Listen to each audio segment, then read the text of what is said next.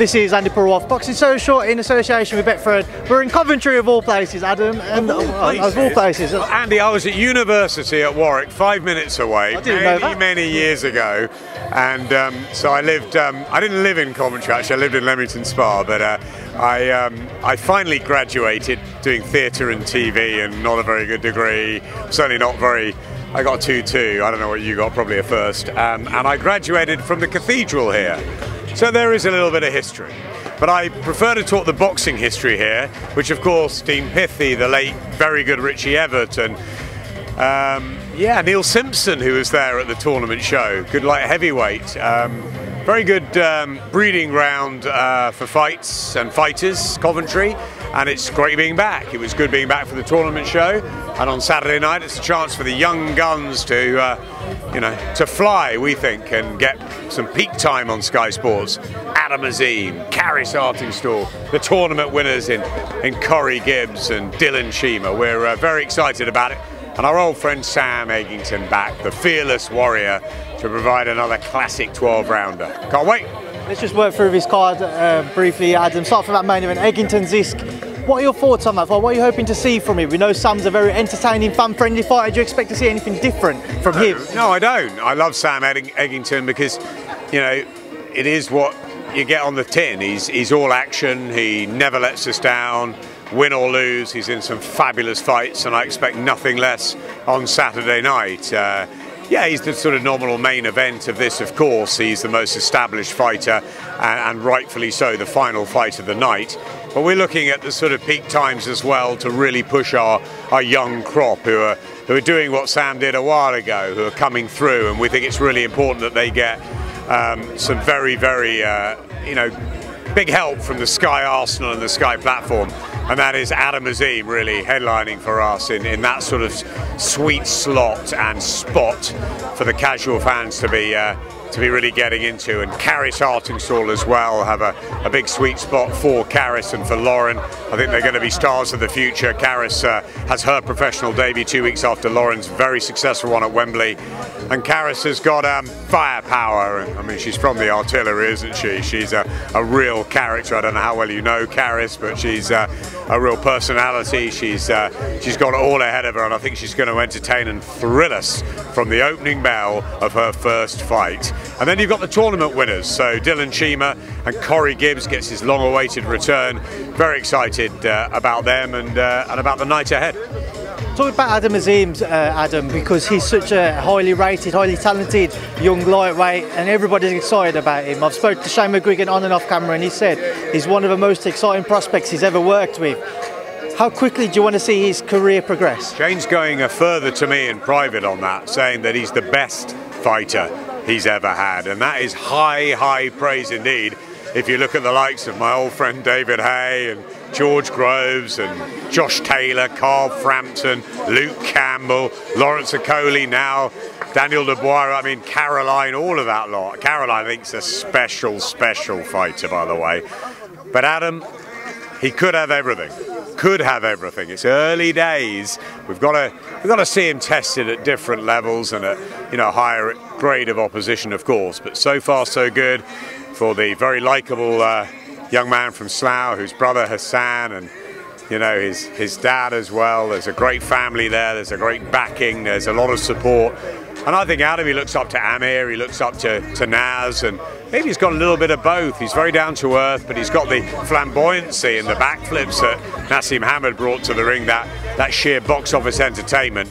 He's got mobility, he's got speed, he's got electricity, he's got something different at these workouts, he's got power. I like him. I like him a lot, Andy. Caris Artingstall makes her long-awaited debut as well, Adam. You had Lauren Price a couple of weeks back. Now you've got Caris. What are you hoping to see from her in a, a pro debut?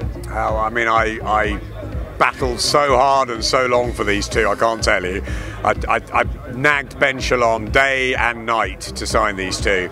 I think they are going to be the power couple, not just in boxing but in sport, Andy. I think they are there for each other every step of the way. I think Lauren and Caris are both going to be world champions. Enjoy the journey. They are both charismatic. They're both so talented.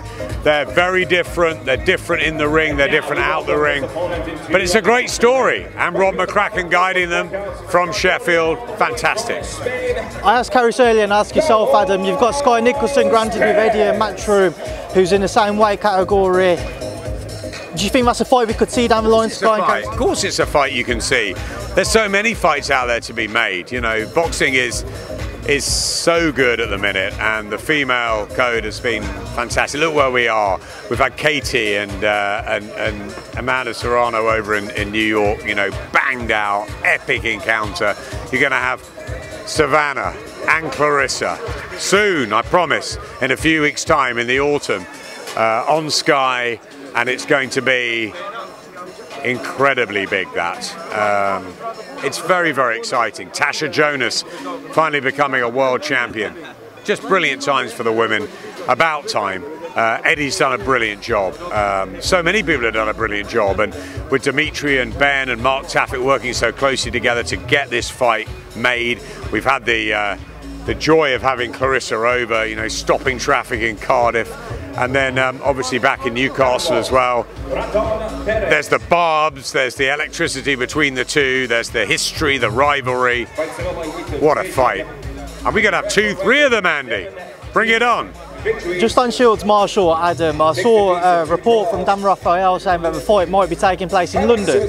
Can you confirm or deny if that's the case? It might be taking place in London, Andy. It might be. We will announce when we're ready to announce what we are doing with that fight. But believe you me, that is a night that is going to go down in history. So stand by for the announcement. Stand by for something pretty spectacular and um, we're working a lot behind the scenes to make sure that, that we have a fantastic showcase for that fight because we believe it is a fight to elevate boxing even more. No, not just elevate female boxing, elevate boxing. Full stop and sport. It's going to be a it's going to be a pivotal night in our calendar in the autumn. Now, Adam, uh, a question which I'm sure you've been asked about quite a bit so far today, no, up at heavyweight. Surely um, not about Anthony. Yeah, that's for one. Anthony Joshua recently announced a long-term partnership with DAZN. There's obviously a lot of talk as to where his broadcast allegiances would end up. Just get your thoughts on that announcement of their long-term partnership. What are my thoughts? Um, I'm I'm almost talked out about how confident I was that Anthony would stay, how disappointed personally I am that he's obviously not going to be with Sky anymore. Um, professionally, it's a disappointment. Let's not hide behind that. It's AJ. AJ, we've had since the beginning of his pro career. Um, it's been a fantastic partnership, a wonderful relationship. Um, but we pick ourselves up. Um, I'm in AJ's corner. We're in AJ's corner. We wish him all the luck in the world, all the success. Uh, obviously, he's got a massive rematch to focus on at the moment, um, and he moves over to, to Zone. Um, we'll always be behind him. He's always part of our history. Um, those huge nights we had with him at Wembley, at the Principality, out in Saudi, so many great you know, nights, the ups, the downs in New York. Um, of course, he's part of us. Um, we adore AJ. Uh, my family adores AJ, and um, he'll always be you know, very, very highly regarded by us. We also like Alexander Usyk, by the way. Let's not just talk about AJ because Alexander's been a really great fighter for Sky, and uh, you know, we're looking forward to seeing that fight on August the 20th. We see the announcement, the big press conference in Saudi. I think there's one in London as well, and. Uh, you know, we don't know where it's going to land broadcast-wise at the moment, but um, ultimately he's gone to DAZN and we wish him well. And uh, no fighter should be begrudged the money that's on the table for and the deals that are on the table, and they've got to look at them. AJ's no exception, and whatever level you're at, it's a short window. Fighters, Andy, are everything to us. We would not be doing this without the brave men and women that get in that ring. So to begrudge them any offer, any future, you can't. We've had a great time with AJ it's come to an end, maybe. Maybe it's temporary, maybe it's full term, maybe things will change down the road, who knows? But he's with DAZN now, and we wish him well. And I wish the guys at DAZN well with him because he's a great fighter, he's a great ambassador, and um, you know he's going to bring them a lot of success, I'm sure. We've got to look at who are the next box office stars.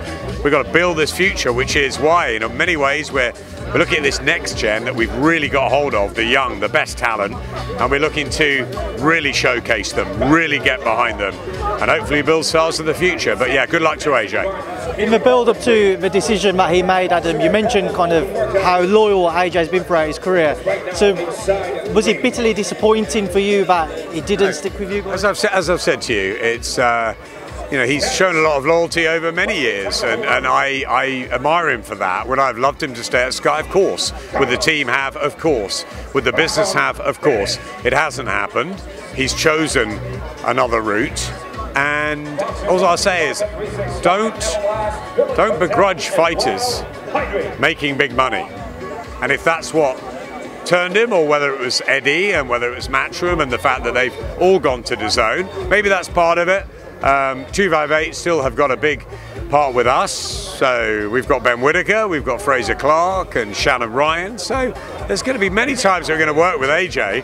And one of the things him and, and, and Benga and you know KD and all, all our friends have been saying is, you know, let's build the next AJ. So, you know, sometimes fighters have got to look at what stage they are of their career and make decisions that are right for them. We've seen it before, we'll see it again. Sky aren't going anywhere. We've got an amazing platform and we build for the future. Final thing on it, I just want to get your thoughts on Adam, is the deal which was proposed to AJ has come out. So he's been offered shares, he's become a shareholder now of DAZN. He's a special advisor, a brand ambassador for the business. Just kind of get your thoughts on everything which was proposed I'm, I'm, sure they, they had to do all of that to make sure that, you know, he didn't stay on Sky. Um, he was an ambassador for us, and I don't know any of the details of that. I'm just sure that it's got to be, you know, hopefully for AJ, the right deal for him. I, as I said, we're disappointed, obviously, at Sky, and uh, we'd have loved to have continued to the end of his career, but you know, it's it's not doesn't always work like that boxing, and uh, fighters have to do what's right for them. And you have to ask DAZN and, and AJ's team, 258, you know, what made him sign with them. But ultimately, he has. And we look our wounds and we come again. But as I said, we are and will always be behind Anthony Joshua. We have a great working relationship with Freddie, with Andy Bell. They're, they're friends of ours, just like Frank and Eddie. And, you know, we've worked together a long, long time in all of this.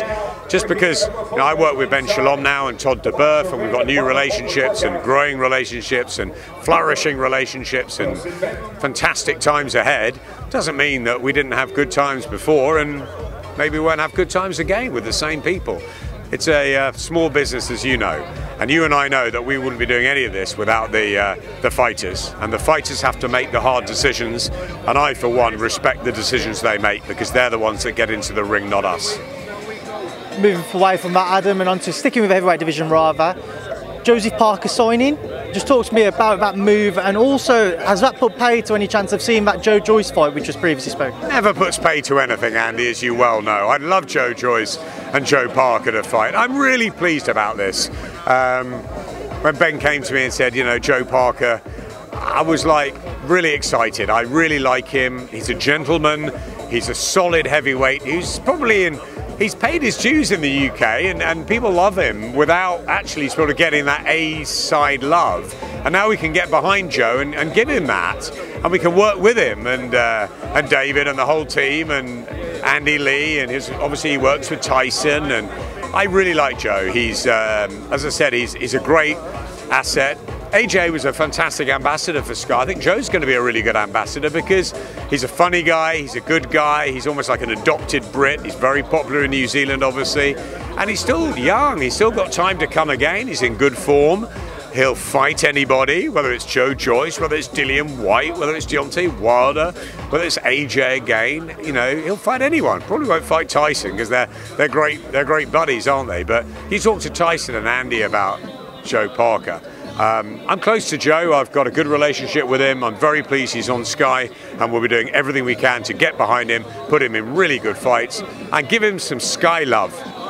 Hughie Fury, Michael Hunter no longer taking place on July 2nd. That had a It will take place. It won't take place on July the 2nd, but it will. It's just been postponed. It's a great fight. Um, Hughie wasn't ready, he was injured, um, and he'll go again with Michael. And we look forward to that. It's an eliminator for Daniel Dubois' title. Very, very good performance from Daniel away uh, in Miami recently. Delighted for him, obviously, Caroline's brother, and they're very close, so very good news. Frank Warren's had a great year, hasn't he, with Tyson Fury and Daniel Dubois and Joe Joyce. Maybe we should get together with Frank and try and make the Joyce Parker fight. Um, look, it's uh, it's good times, isn't it? Not just DAZN we're talking about, who have uh, obviously had Eddie and a, a, great number of fighters join them, but Frank's done brilliantly on BT as well. Uh, the Wasserman team now on Channel 5, they had a show the other week. And um, you know, Ben Shalom going from strength to strength. You had Top Rank and PBC and everyone else around the world. We love what Top Rank are doing, giving us another great performance from Artur Beterbiev on the weekend. We're loving our relationship with Top Rank, and um, we love what we're doing with boxers. So, a uh, lot of competition, a lot of opportunity to fighters, and some great times for fans who can tune in and watch boxing everywhere. But Saturday night, you'll be tuning into Sky, Andy, won't you? Because the young guns are coming. Just a couple more quick ones from me, Adam. On that July 2nd, Ben Whittaker was due to make his debut. When you're hoping to see that one take place now, when you're hoping to see him in the ring for the first time? I need to talk to Ben, but hopefully get Ben out in July with a bit of luck. Um, I don't want to hold Ben back to. He's itching. He's itching. Uh, he doesn't mind waiting two or three weeks, but he wants to get out there and uh, and get going, and uh, that's going to be something special. That's going to be uh, that's going to be one ride, the Ben Whittaker journey. Enjoy it. And Tommy Fury this morning has put a video out saying that he signed his end to the fight with Jake Paul. Just get your thoughts, Adam. Tommy Fury and Jake. Never mind that. I need Tommy Fury to do a video for me, not for me, for my daughter who turns 16 on Saturday. I'm going to be with her for breakfast, and then I'm going to be hot footing it up here. But she's a massive Tommy Fury fan, so I need I need Ben to work his magic and get a video for Tommy. Tommy's watching this. Tommy, do a video for Jessamine. She'd love that. Um, Tommy Fury's a great guy. I worked with him a little bit on the. Um, on the uh, on the night at Wembley. Um, yeah, great. Let's see the fight. Him and Jake Paul. Can't wait for it. Adam, I think you've got to go shoot off and do your job now. Thank you. No problem at all.